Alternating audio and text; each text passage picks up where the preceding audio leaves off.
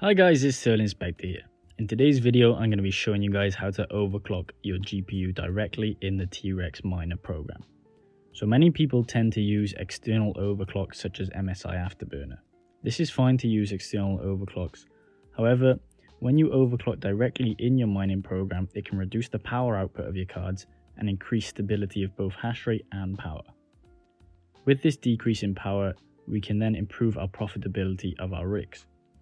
So I think that T-Rex Miner is one of the only miners that allows for internal overclocking. But I think that all miners should start to put this in as it's very helpful and it means that you don't have to set up your overclocks every time you restart your rigs. So let's get into how to overclock. So the first thing you want to do is open up your T-Rex batch file or miner file. To do this, you've got to find it in your T-Rex file and then right click and hit edit on the file.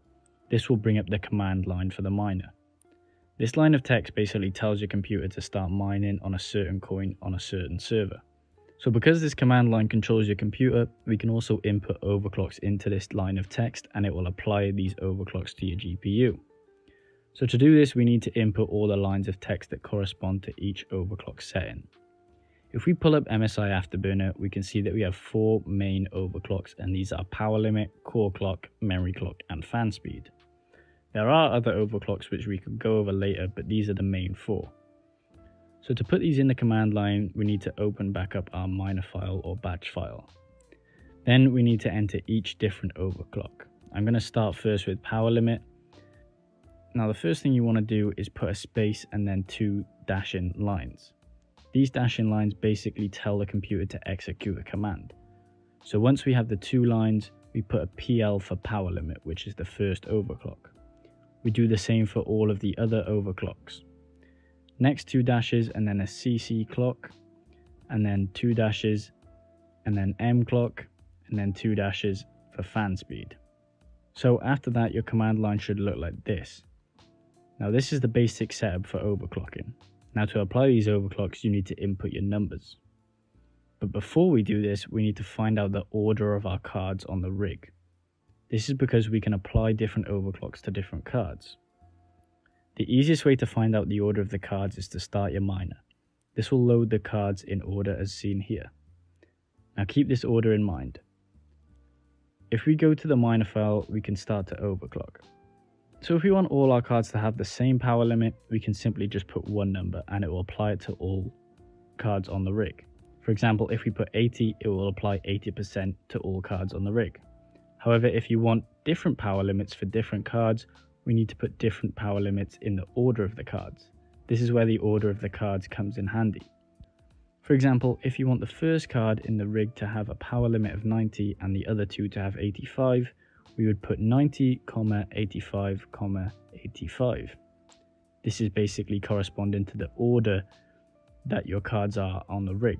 So number one on the rig would be the first one, number two is the second, number three is the third, and so on. This then separates the card and applies different power limits to different cards. The same applies to the other three overclocks. So power limit and fan speed are both a percentage of 100 and the core clock and memory clock are plus and minus from the standard clocks.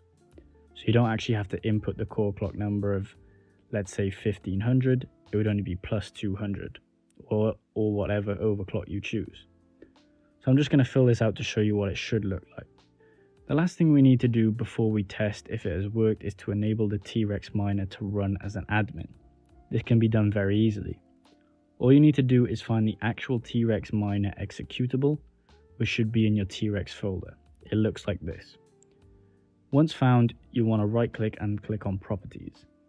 Next you want to click on the compatibility tab and then find a box that says change settings for all users. Click that and then we want to lastly click on the box that says run this program as an administrator. So once that has been done and the miner file has been filled out, the best way to test it is to just start up your miner. You'll know if it has worked because the miner will show that it's loaded the overclocks onto the GPUs. As you can see here, it's loaded them, the power limits, the fan speeds, the memory clocks and the core clocks. So normally if they haven't loaded, it means your command line is wrong, and T-Rex Miner will tell you if it's wrong. I would double check if you have two dashes, then firstly make sure there are spaces in between both the overclocks and the numbers. If it still doesn't run, I can help you guys out on my Discord. Just send me which overclocks you're trying to do and I'll write out a new command line that should work for you. The link to join the Discord is in the description. Now we have gone over the main overclocks, there are also other ones we can add to this command line for certain cards. So the next three we can add is the lock core clock, which basically locks your core clock to a certain number. This tends to be for newer cards and not the old ones. This is put as two dashes, then lock, and then dash, and then C clock, like this. The next one is the memory tweak, which is the same as the ETHlargement Pill that's only for Pascal cards. To write this, we just put two dashes, then MT. Now the memory tweak ranges from 1 to 6, 1 being the lowest and 6 being the highest, so you'll have to play around with the figures and figure out which one is the best for your cards. Last thing we can add is the intensity of the card. This applies to all cards and basically pushes your card to produce more hash rate the higher the intensity. This is written as two dashes and then intensity, followed by the intensity you want to set as a number. 22 is the standard one, but you can increase this up to 26. So if you don't want to apply any overclocks to the cards in the order, you can just put 0. So say your power limit wants to be 90 for one card, and then 100 for another, and then 85. You would just put 90, 0, 85 because 0 would be 100%.